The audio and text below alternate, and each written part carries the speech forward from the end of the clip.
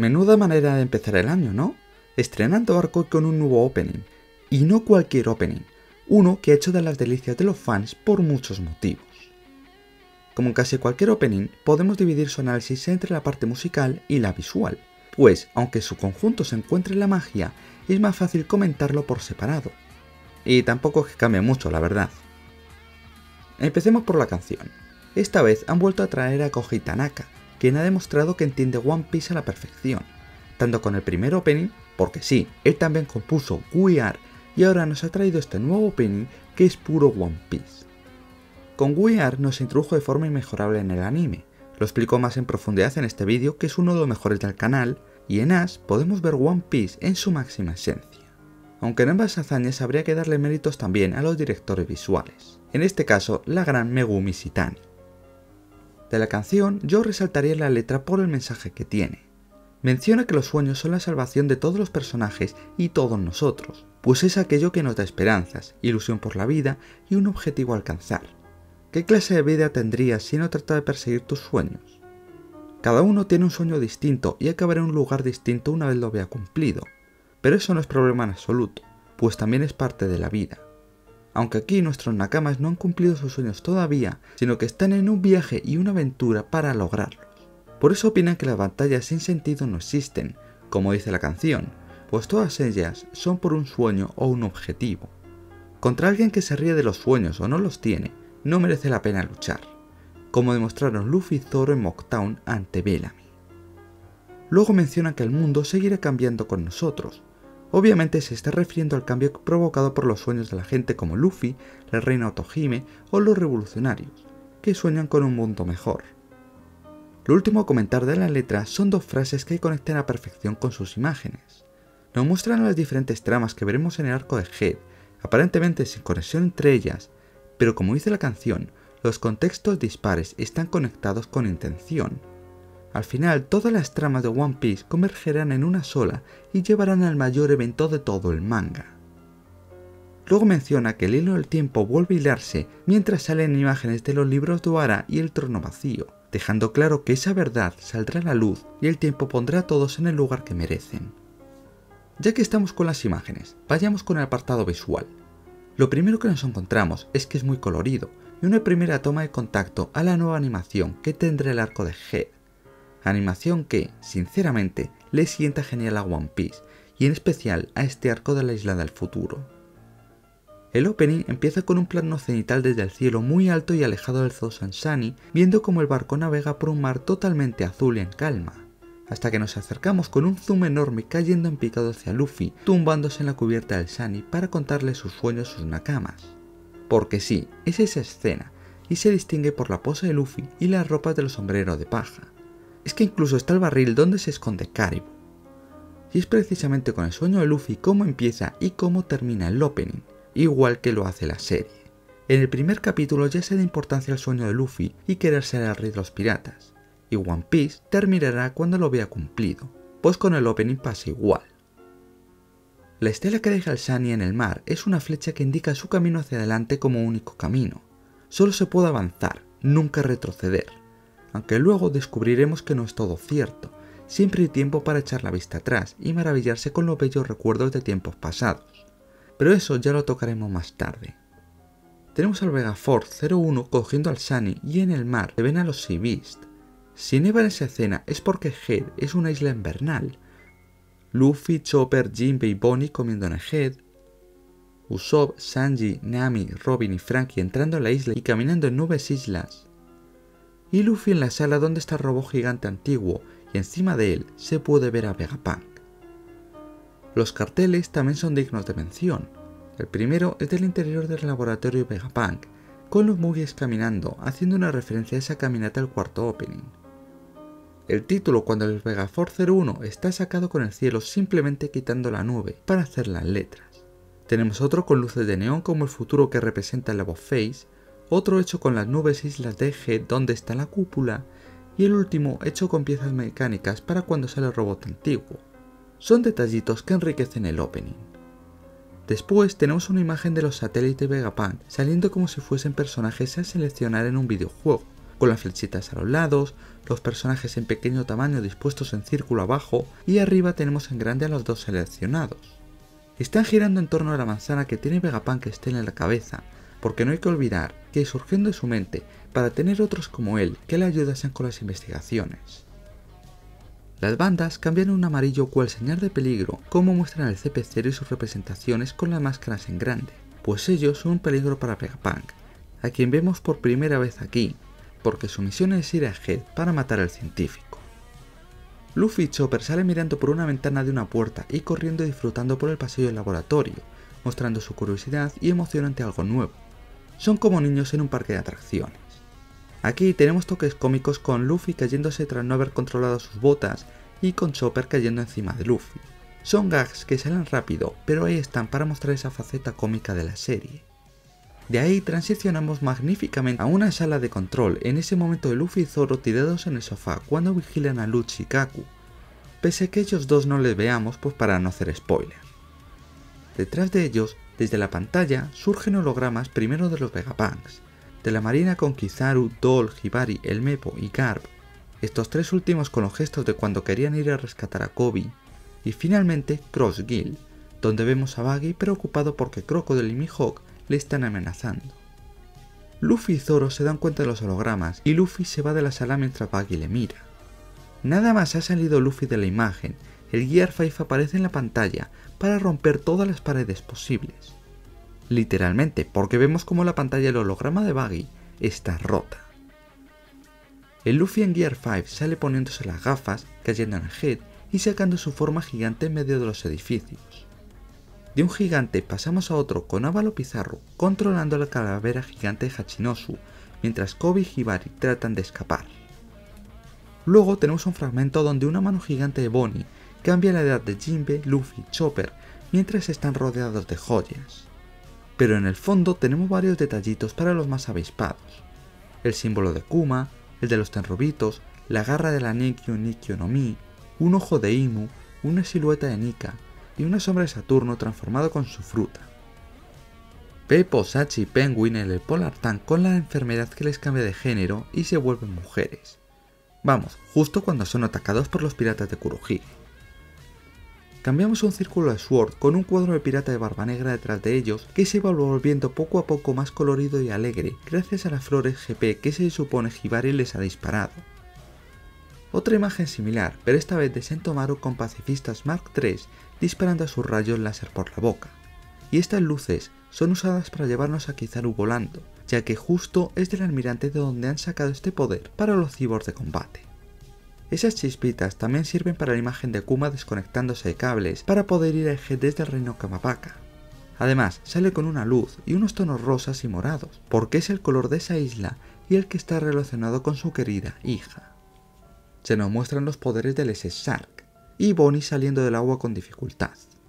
Vemos un Sentomaru de niño viendo cómo Kizaru dispara un rayo de luz con su dedo. Si el fondo es negro y la única luz es la que proviene del dedo de Kizaru, otorgando esos tonos cálidos a Sentomaru es para hacerlo más estético, pero también porque fue él quien le ayudó en su pasado y cambió su vida, forjando su amistad con el almirante.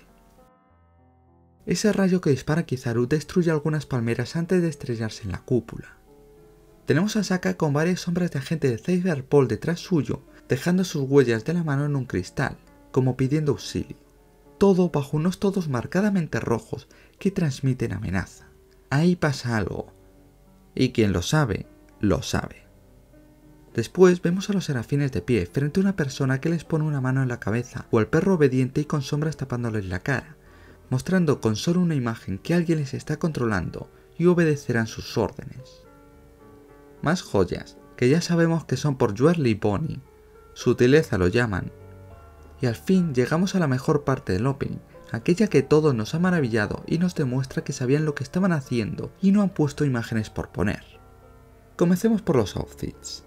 Tenemos una escena de Luffy caminando y cuya ropa se va cambiando según la ha ido llevando durante toda la serie de la más actual a la más clásica. Egghead, Onigashima, Guano, la fiesta del té, la incursión en Whole Cake, Rosa, Lucy en el Coliseo Corrida, Panhazard, Isla Yojin, Marineford, Impel Down, la ropa hecha por la escuya en Amazon Lily, el archipiélago Sabodi, Thriller Bark, Ennis Lobby, Afro Luffy para pelear contra Foxy, Skypiea, Final de Arabasta, Desierto de Arabasta, Drum y Ellis Blue. Si observamos al suelo, veremos las diferentes islas por las que ha pasado cambiando según lo que parecen ser rayos de sol o similar, pero la sensación que nos da. Están en Slobby, Thriller Bark, Sabodi, Marineford, Leila Yojin, Panhazard y Dressrosa. Mientras los Mugis pasan por encima de esta parte del suelo, obtienen su vestimenta durante ese arco. Además, es curioso que surjan de la parte correspondiente a Leila Yojin, ya que esa fue la primera isla a la que fueron tras su reencuentro después del time skip. Cambiando de plano, ya le vemos con la ropa de Whole Cake para los que fueron al territorio de Big Mom, como Luffy, Nami o Sanji, o de Wano para los que fueron directamente a la tierra de los samuráis, como Zoro. Tenemos una imagen de sus pies pisando la nieve de Onigashima y vemos que llevan esa ropa con la que fueron a la guerra contra Kaido. El trío monstruoso corriendo con la ropa que han llevado en el pasado episodio, cuando Luffy dijo sus sueños sus nakamas, acabando con ellos tres saltando hacia Head, esta vez con la ropa obtenida en ese arco. Sirve para recordarnos a los espectadores toda la aventura por la que han pasado Luffy y los sombreros de paja. De ahí pasamos unas magníficas transiciones muy bien puestas para cohesionar todo lo que se verá en este arco. Muchas peleas colocadas con cortes rápidos y los personajes exactamente en la misma postura. Empezamos con un Luffy en Gear 5 contra Rob Lucci en el Head y pasamos a través de una rueda mecánica a la pelea entre Eustace Kid y Shanks, Lo contra Kurohige, Gar contra Kuzan, Zoro contra ese Hawk y de regreso a Luffy contra Rob Lucci chocando sus puños con Haki, como esa famosa viñeta del manga. Esos puños son tapados con las llamas de Sabo que le lanza Imu en ese ataque por sorpresa antes de la muerte de Cobra. Hasta vemos a Sabo poner la misma cara y postura que en un panel de ese capítulo, Además, esas llamas son atravesadas por una flecha negra, el ataque que le hacen a Cobra y a Sabo, supuestamente el propio Im. Esos cuervos que salen detrás de Sabo representan el ataque a por parte de los revolucionarios, especialmente Karasu, y se transforman en gaviotas blancas de Newsco en representación de las grandes noticias que surgieron del level 10 de este año, eventos que veremos en este arco que está iniciando. Pero las gaviotas no están volando sobre cualquier lugar. Lo hacen por los cielos de Arabasta, ya que su familia real ha sido la más afectada por estas noticias y cosas que pasaron en la Tierra Sagrada. Se nota que es Arabasta porque esa es la torre del reloj donde escondió la bomba Crocodile. Nos muestran a los tres personajes que están en el cuartel de Nusco, Morgans, Bibi y Walpole, pero Morgans está haciendo el gesto de silencio con una mano mientras que con la otra tapan los dos reyes fugitivos, como si estuviera ocultando el secreto. Vemos los libros de Oara cayendo porque fueron tirados al río para salvarse las llamas y la Buster Call.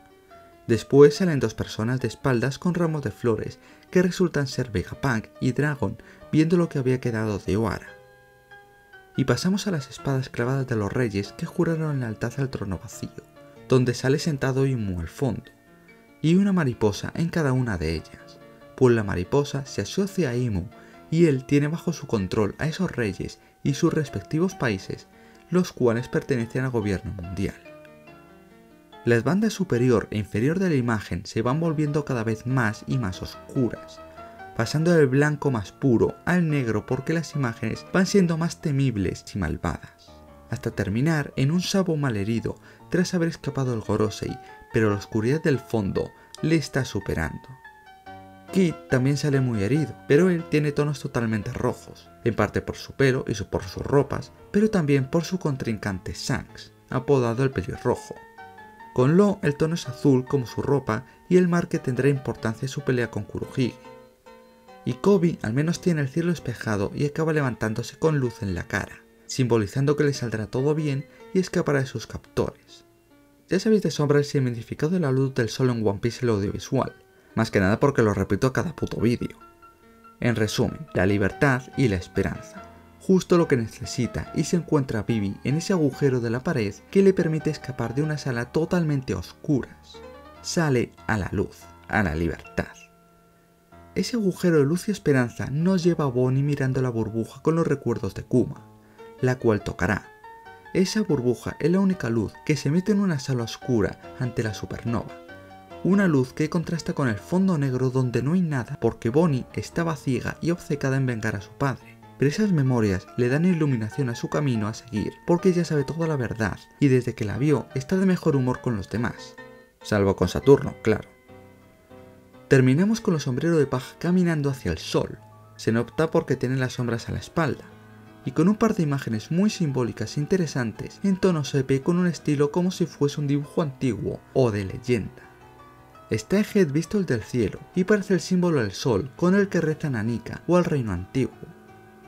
Eso para pasar a un mapa del nuevo mundo con una luz muy brillante en el horizonte, como si fuese el sol saliendo con el amanecer del mundo, pero sobre todo remarcando el destino lo muy guara, la isla de Loftail. Y como he comentado antes, el opening termina con Luffy tumbándose para decir su sueño. Es exactamente el mismo momento desde dos puntos de vista distintos. El principio y el fin de la aventura y de One Piece son los sueños, en concreto el de Luffy. Pero no solo se dan importancia a los sueños en este opening, también a más personajes aparte de los sombreros de paja y eventos del mundo fuera de su aventura. Eso es posiblemente lo mejor que tiene One Piece, su world building, un mundo vivo y en continuo movimiento que no se queda parado hasta que llegan los protagonistas para avanzar. Y el opening ha querido remarcarlo. Por todo esto se dice que Ash es puro One Piece en forma de opening, especialmente por todos los easter eggs que tiene y que han maravillado a los fans. Y así termina el vídeo. Gracias por haber llegado hasta aquí, espero que te haya gustado y verte en el siguiente. Un saludo y recuerda, la justicia prevalecerá.